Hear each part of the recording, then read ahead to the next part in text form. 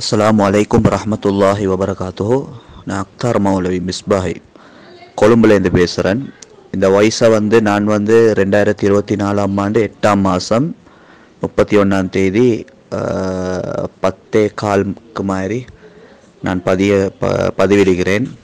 இந்த வயசு போடுறது வந்து யார்ட மனசை நோவிக்கிறதுக்கோ யாரையும் புண்படுத்துறதுக்கோ எனக்கு யார் தனிப்பட்ட கோபம் இல்லை. இஸ்லாத்துடைய ஒரு அக்கறை ஒரு ஆலிமன்ற ரீதியில் சில விடயங்கள் காரமாகவே சொல்ல வேண்டிய நிலைமைக்கு நான் சிலர்களால் நிர்பந்திக்கப்பட்டிருக்கிறேன் மன்னிச்சுக்கோங்க.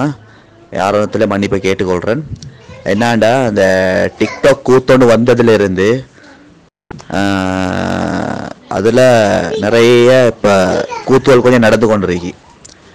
இந்த காலம் பொருளாதார பிரச்சனைகள் அந்த பிரச்சனை இந்த பிரச்சனை தேவையான வேலையை செய்யக்கூட டைம் இல்லாத இந்த ஒரு காலகட்டத்திலையும் கூட இந்த சில வேலை வெட்டி இல்லாத சில கேசஸ்கள் வந்து என்னென்னத்தையோ செஞ்சு கொண்டு அதில் சீரழிஞ்சு கொண்டு இருக்குதுவள் விளங்கிச்சா? இதை ஒவ்வொன்றுக்கும் அல்லாஹ்கிட்ட வகை செல்லணும். சரியா?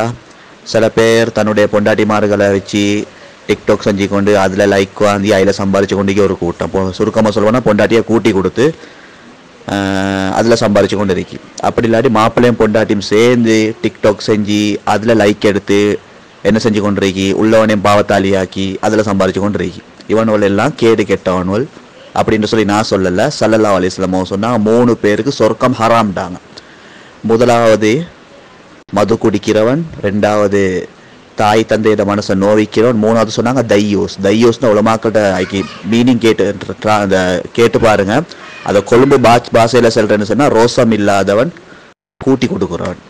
விளங்கிச்சா? இவனுக்கு சொர்க்கம் ஹராம் கியாமத்துடைய நாளையில் அவன் முகத்தை அல்லாஹ்தாலா திரும்பி பார்க்க மாட்டானாம் என்றது ஹதீஸுடைய கருத்து. இந்த ஹதீஸை வச்சு தான் நான் விளங்கப்படுத்தினேன். அதனால் பொண்டாட்டிமார்களை வச்சு டிக்டாக் செய்கிறவங்க அவங்க சம இந்த அதாவது லைக் எடுக்கிறார்கள் சம்பாதிக்கிறார்கள் இந்த ஹதீஸை கொஞ்சம் கல்புக்கு எடுத்து இதுக்கு பின்னால சரி நாங்கள் ஒழுங்கா இருக்கணும்னு சொல்லி மனசை கொஞ்சம் எடுத்துக்கோங்க. ஹை முதலாவது விஷயம். ரெண்டாவது விஷயம் என்னன்னு சொன்னால் இப்போ ஒரு சகோதரர் எங்களுக்கு தெரியும் அந்த வேறுவலையில் அந்த பேர் அவர் சகமின்னு நினைக்கிறேன். அதை நடந்து ஒரு சாதனை ஒன்று படைச்சார். அவரோட ஃபோட்டோவோட இன்னொரு பொடியண்ட வாப்பாட ஃபோட்டோவை டிக்டாக்ல டிக்டாக்ல எடிட் பண்ணி இந்த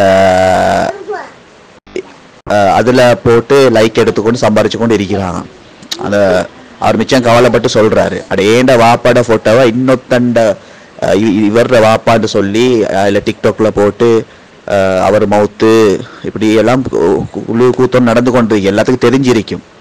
சரியா? இது சரியில்லாத வேலை. ஷரியத்துடைய பார்வையில் வந்து வாப்பா இல்லாத ஒத்தனை வாப்பான்னு சொல்றதே ஹராமாகப்பட்டு ப- படு படு மோசமான ஒரு பாவம்.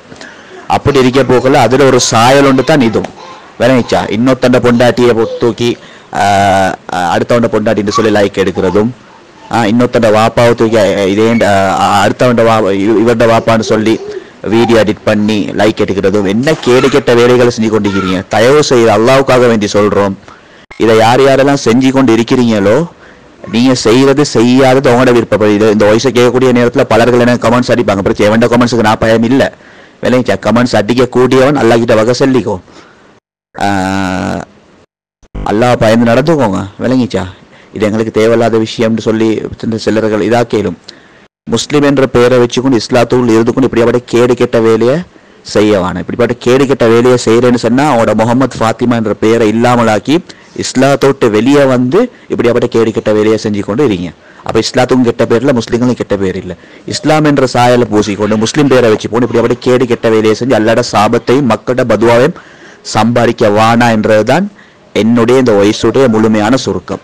அதனால் நான் யாரையும் எனக்கு தனிப்பட்ட முறையில் நான் ஆரம்பத்திலே மன்னிப்பு கேட்டு ஆரம்பத்திலே நான் இந்த சப்ஜெக்டை சொல்லிட்டேன். தனிப்பட்ட கோபங்கள் இல்லை.